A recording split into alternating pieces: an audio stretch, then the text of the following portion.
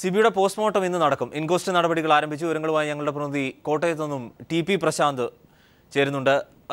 പ്രശാന്ത് തലച്ചോറിന് ക്ഷതമേൽക്കുന്ന തരത്തിൽ ശക്തിയായി പ്രഹരം തലയുടെ പിൻഭാഗത്ത് ഉണ്ടായിരുന്നുവെന്ന് പോലീസും സമ്മതിക്കുന്നുണ്ട്. ഇത് എവിടെ വച്ചാണ് ഉണ്ടായത് എന്ന നിഗമനത്തിലേക്കാണ് പോലീസ് എത്തുന്നത്.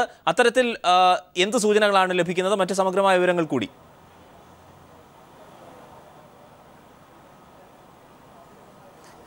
അരുൺ അതായത് ക്രൂരമായ ലോക്കമർദ്ദനമാണ് സിബിയുടെ മരണത്തിന് കാരണമെന്ന് കാരണമെന്നും അതുകൊണ്ട് തന്നെ ഉന്നത പോലീസ് ഉദ്യോഗസ്ഥരുടെ നേതൃത്വത്തിലായിരിക്കണം ഇൻക്വസ്റ്റ് നടപടികളെന്നും തന്നെ ബന്ധുക്കൾ ആവശ്യപ്പെട്ട് ഇത് ഇക്കാര്യം ഉന്നയിച്ച് രംഗത്തെത്തിയതോടുകൂടി Ernakulam range I G Ajith Kumar നേരിട്ട് ഇവിടെ ഇൻക്വസ്റ്റ് നടപടികൾ പൂർത്തിയാക്കുന്നിടത്ത് അല്ലെങ്കിൽ തയ്യാറാക്കുന്നിടത്ത് എത്തിയിട്ടുണ്ട്.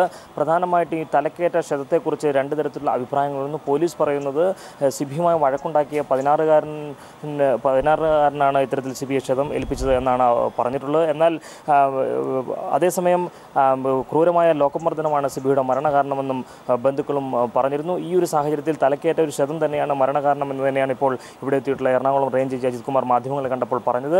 മാത്രമല്ല ഇൻക്വസ്റ്റ് നടപടികളെല്ലാം തന്നെ വളരെ സത്യസന്ധമായ രീതിയിൽ തന്നെ അന്വേഷണത്തെ അന്വേഷണത്തെ സഹായിക്കുന്ന തരത്തിലുള്ള സത്യസന്ധമായിട്ടുള്ള നടപടികളൊക്കെ എല്ലാം തന്നെയായിരിക്കും പൂർത്തിയാക്കുക എന്ന് R D O C K പ്രകാശും വ്യക്തമായിട്ടുണ്ട് വ്യക്തമാക്കിയിട്ടുണ്ട്. മാത്രമല്ല ദേശീയ മനുഷ്യാവകാശ കമ്മീഷൻ നിർദ്ദേശിക്കുന്ന എല്ലാ നടപടിക്രമങ്ങളും പാലിച്ചായിരിക്കും ഇൻകോസ് തയ്യാറാക്കുക. മാത്രമല്ല ഇപ്പോൾ പോലീസ് ഫോട്ടോഗ്രാഫറെയും മറ്റും ഒഴിവാക്കിയിട്ടുണ്ട്. പകരം public relation department P R ഡിയുടെ ഫോട്ടോഗ്രാഫറും മാരാണ് ഇപ്പോൾ ഈ കാര്യങ്ങളെല്ലാം തന്നെ ചിത്രീകരിക്കുന്നത്.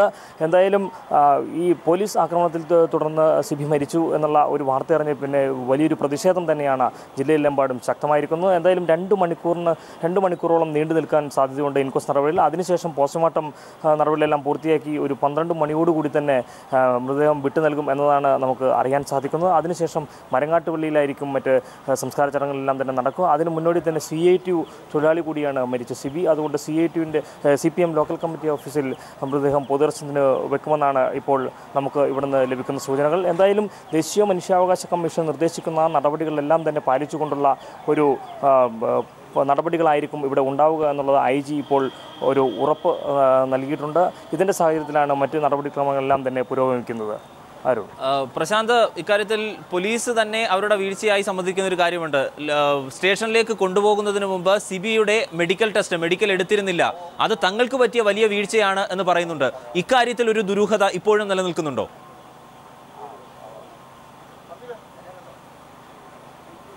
തീർച്ചയായിട്ടും വരുന്നു. ഒരാളെ കസ്റ്റഡിയിൽ എടുക്കുമ്പോൾ അയാൾ മദ്യപിച്ച് വഴക്കുണ്ടാക്കിയെന്ന് ആരോപിച്ച് കസ്റ്റഡിയിലെടുക്കുമ്പോൾ അയാളെ വൈദ്യപരിശോധനയ്ക്ക് വിധേയനാക്കണം എന്നുള്ളത് എല്ലാവർക്കും അറിയാവുന്ന ഒരു കാര്യം തന്നെ പൊതുസമൂഹത്തിന് തന്നെ അറിയാവുന്ന കാര്യമാണ്. ഇക്കാര്യത്തിൽ പോലീസ് വീഴ്ച വരുത്തി അല്ലെങ്കിൽ പോലീസിന് വീഴ്ച പറ്റിയത് അബദ്ധമായി പോയി എന്ന് പറയുന്നതിൽ തന്നെ ഒരുപാട് ദുരൂഹതകൾ നിലനിൽക്കുന്നുണ്ട്. മാത്രമല്ല സി ബി ഐ അറസ്റ്റ് ചെയ്ത അന്ന് തന്നെ വൈകിട്ട് അവരുടെ മാതാപിതാക്കൾ അദ്ദേഹത്തെ കാണാൻ സ്റ്റേഷനിൽ എത്തിയിരുന്നു.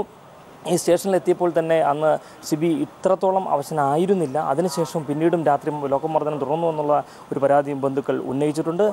അപ്പോൾ മാത്രവുമല്ല ഈ ഫോറൻസിക് വിഭാഗം തന്നെ ഇത് അട്ടിമറിക്കാൻ ഉള്ള ഒരു നീക്കം തന്നെ ഉണ്ടായതായിട്ടുള്ള ഒരു ആക്ഷേപം വരുന്നുണ്ട് കാരണം മരങ്ങാട്ടുപള്ളിയിലെ പ്രാഥമിക ആരോഗ്യ കേന്ദ്രത്തിൽ വെച്ചാണ് സിബിയുമായി പതിനാറുകാരനും തമ്മിൽ വഴക്കുണ്ടാകുന്നത്. ഇവിടെ എത്തി തെളിവെടുത്തെങ്കിലും ലോക്കപ്പിൽ എത്തി തെളിവെടുക്കുന്ന കാര്യത്തിലെല്ലാം തന്നെ ഫോറൻസിക് വിഭാഗം ഒരു മെല്ലപ്പോക്ക് കാണിച്ചു. അവർ അവിടെ എത്തിയിട്ടില്ല. മാത്രവുമല്ല ഈ സംഭവം നടന്ന ഏഴ് ദിവസത്തിന് ഉള്ള- ഏഴ് ദിവസം കഴിഞ്ഞിട്ടാണ് ഫോറൻസിക് വിഭാഗം തെളിവെടുക്കുന്നത് എന്നുള്ള ഒരു ആക്ഷേപം വരുന്നിട്ടുണ്ട് സ- പ്രത്യേകിച്ച് ആവശ്യമെങ്കിൽ കോടതിയിൽ വരെ ഇത് ഹാജരാക്കേണ്ട ഇത്തരം തെളിവുകളെല്ലാം തന്നെ കൃത്യസമയത്ത് എടുക്കുന്ന കാര്യത്തിൽ പോലീസിന്റെ കാര്യത്തിൽ നിന്നും വലിയൊരു വീഴ്ചയുണ്ടായി.